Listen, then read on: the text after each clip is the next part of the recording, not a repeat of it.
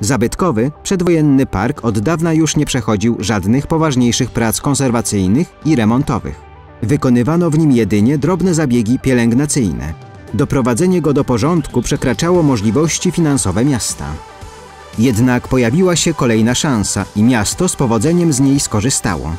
Dofinansowanie projektu z programu operacyjnego Infrastruktura i Środowisko pozwoliło miastu na podpisanie umowy oraz rozpoczęcie robót budowlanych. Zakres prac jest ogromny.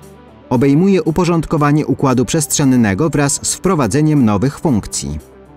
Na alejkach parkowych powstaną zarówno ciągi pieszo-jezdne na powierzchni 35 tysięcy m2, jak i piesze, około 12 400 m2. Konieczne było usunięcie i pielęgnacja wielu starych drzew oraz posadzenie nowych. Dokonano szczegółowej inwentaryzacji drzewostanu. Projekt zakłada dokonanie cięć mających na celu poprawę bezpieczeństwa oraz zapobieganie rozprzestrzenianiu się chorób. Jednocześnie zaplanowano ogromne nasadzenia. Park wzbogaci się o około 5000 drzew i krzewów liściastych i iglastych. Staw zostanie oczyszczony i obsadzony kłączami roślin wodnych.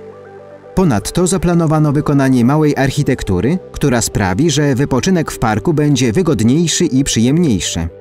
Zostanie zamontowanych 14 ławek bez oparcia, 54 ławki z oparciem, 22 kosze na śmieci, 10 łowostołów piknikowych, 10 wiat drewnianych oraz betonowy krąg na ognisko.